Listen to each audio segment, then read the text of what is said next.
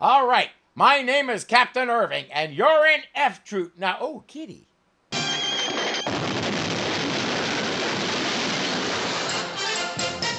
O'Rourke Enterprises has a new venture selling gold claims, except there's no gold around these parts. $75 worth. Oh, what an investment. Okay, now there is. That's called salting the hill. It could get you in big trouble with the law if you got caught. It could get you in bigger trouble with the people you swindled if they got to you before the law did.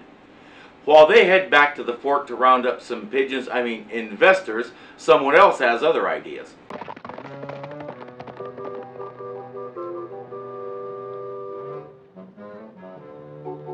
Running Bull? Yes, Professor. Better fetch my prospecting shovel. That's Professor Cornelius Clyde. It's not hard to figure out what he's going to do. Back at the fort, O'Rourke goes to work on Captain Parmenter. Uh, Dobbs? Dobbs. Dobbs! You don't like it, huh? Well, I do, I do. It's, it's very pretty, but there just isn't anything in the regulations about a bugler playing the violin. He plays it at least as well as he plays his bugle, but for one thing, a violin isn't loud enough. Try again. O'Rourke comes in and somehow lets it slip that gold has been discovered at that particular place. Next thing we know, all the men are out there digging for the next big strike, except nobody has gone near the spot where O'Rourke actually planted the gold.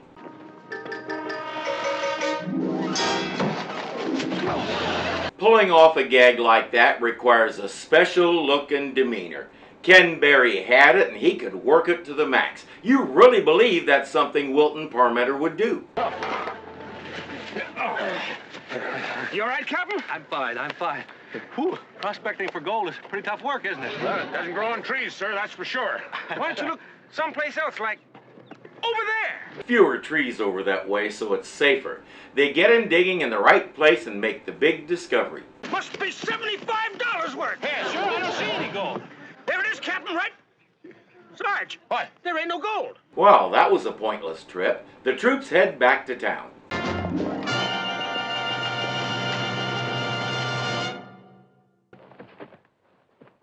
Sergeant, do you have a feeling there's something missing? Yeah, people. Conveniently, Jane is still in town, but not for long. Where is everybody? Duration of what? The gold strike, ain't you heard? Gold strike? What are you talking about? We just come from Calico Mountain. Ain't nobody there. This one's up north of Laramie. Everybody bought a claim and hightailed it out of here. Bought a claim from whom?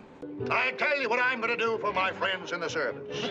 With each and every parcel of land backed with my personal guarantee to contain 14 carat solid gold, I will include three bottles of the world's greatest tonic, Running Bull's Magic Elixir. He's a snake oil salesman who just stumbled into a much more lucrative venture, and he doesn't even have to buy bottles to put it in.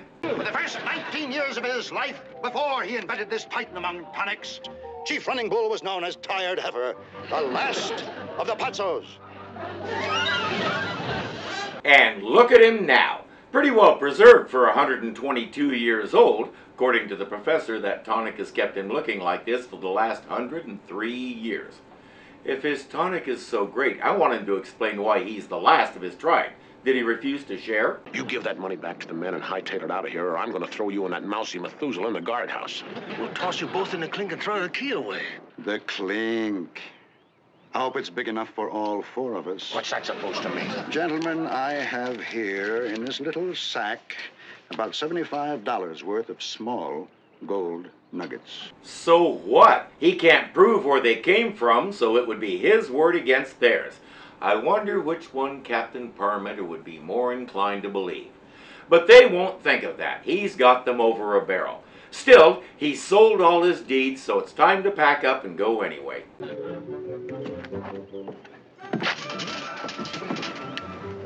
There goes his evidence, but they won't make that connection. Instead, Agarn will find that pile of nuggets, and soon everybody in the fort is digging up the parade ground.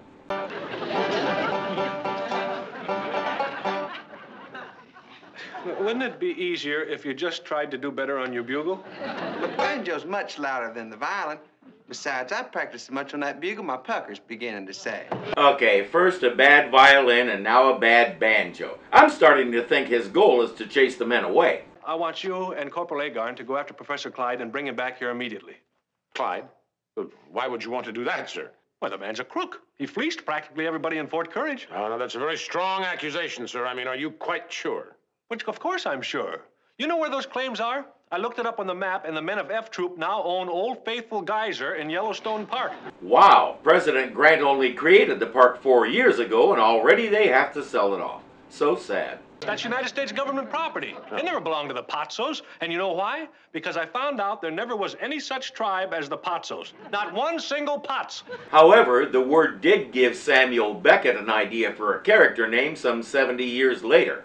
Unfortunately, the playwright refused to give Professor Clyde proper credit for the reference. The professor's descendants sued and lost. O'Rourke doesn't want to catch the professor because it means his and Agarn's necks as well. So they'll spend a couple of days at the Hekawi camp and then tell the captain they couldn't find Clyde. Besides, they need to tell Wild Eagle to scale back whiskey production since nobody's in town to drink it at the moment.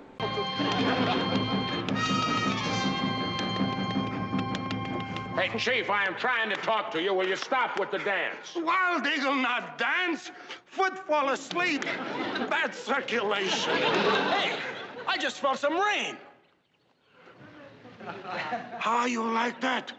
Maybe that was dance I do.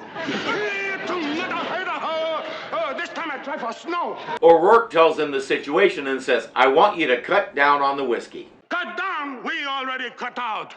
A cow I got much better use for still. Make magic elixir. Wild Eagle lived to be 143 years old.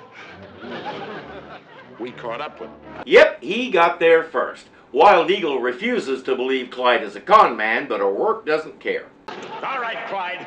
You got one more chance. Now you take Junior there and pull freight for the Toolies, or I'm going to turn you over to the captain. He knows all about you. Oh, goody. Then all we have to do is tell him about you.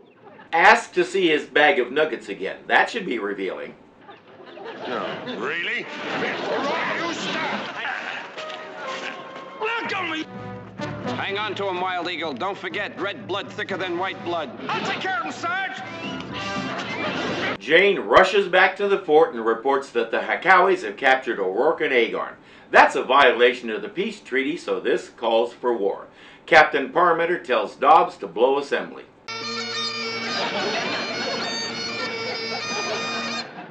I was right. He is trying to drive all the men to desertion, or at least depression.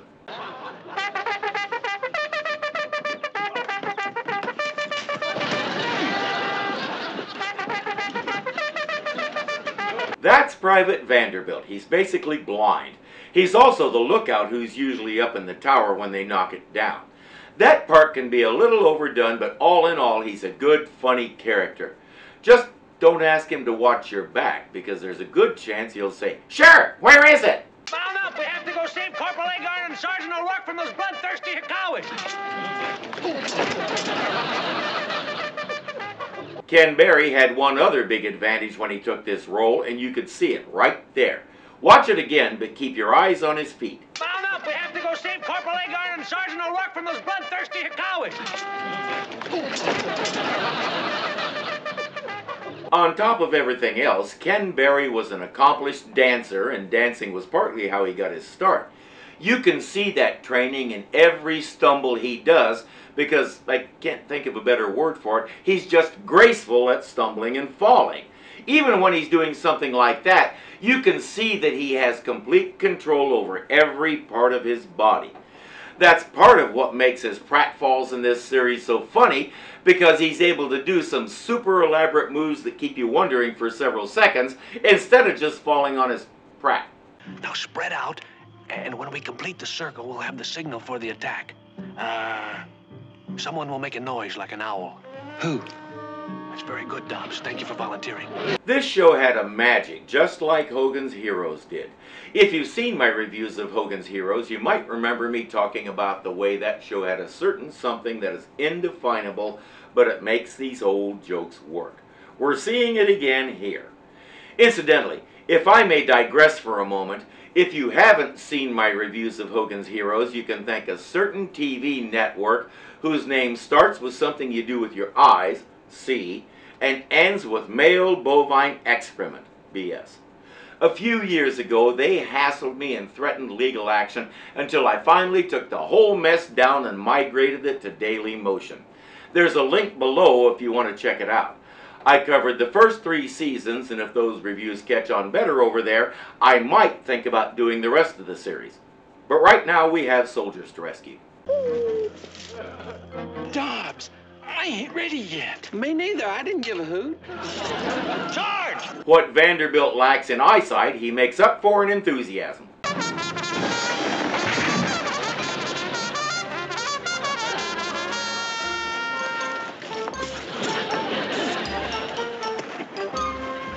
Vanderbilt, come here. Take your glasses off. Agarn should learn to recognize that and be a little more positive in his evaluation of Vanderbilt. He should also keep his hat to himself. Turns out it was all a big misunderstanding. Nobody broke the peace treaty. But what about the professor? Jane said she saw him here. What happened to him? Greetings. Greetings, oh brothers. Who he? Thunderbird, chief of all tamarisks. He says, You lookin' for Professor, him long gone. We have him big fight, him wiggle away and leave. Him gone for good. John Dehner was one of the best known character actors in Hollywood all through the Western era and beyond. I first saw him in a sitcom back in the 70s called Temperatures Rising. But if you want to look it up on IMDb, don't look for Temperatures Rising. Look for the new Temperatures Rising because after the first season they changed the name, revamped several characters, and otherwise admitted they didn't do the first season right.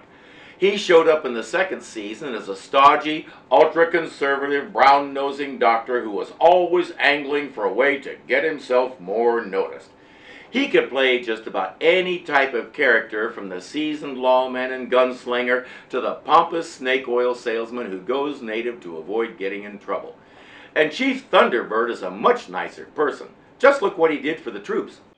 He, uh, he got back all the money. Watch him, friend. There you are, Captain. The good chief got back every cent. Chief Thunderbird no say him nothing cause no want him to reveal true identity, yum. Men, let's have three cheers for Chief Thunderbird. Honestin. I remember using that expression as a child. It was one way of saying I'm telling the truth. I never figured out why or what it was supposed to indicate about Indians. It seems to me like a bad expression. What are you doing? Nobody asked you to dance. Who dance? Moccasin too tight. Football asleep again.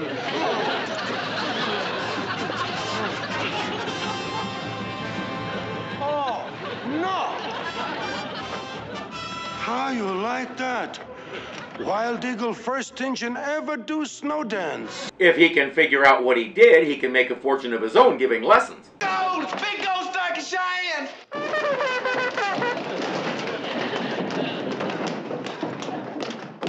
This darn beagle's gonna get me killed yet. Dobbs, when are you gonna stop getting people all head up about these fake gold stripes? Oh, this ain't no fake, Sergeant. The gold was discovered by Thunderbird, and you yourself said he's an honest Indian. I told you it was a bad expression. If you're enjoying this, be sure to click the thumbs up button to show you like it. If you're not subscribed yet, punch me in the face right here and get it done.